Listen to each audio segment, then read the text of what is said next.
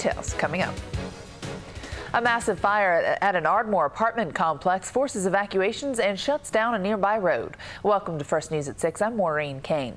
Dispatch received the call at 325 this afternoon. Witnesses say that one building containing four units caught fire at the Ashbrook apartment complex at 1902 Knox Road. Five Ardmore fire units responded to the scene. No word of any injuries, but we are told that there were residents in the apartment when the fire started. Highway Patrol has blocked off the west side of that complex.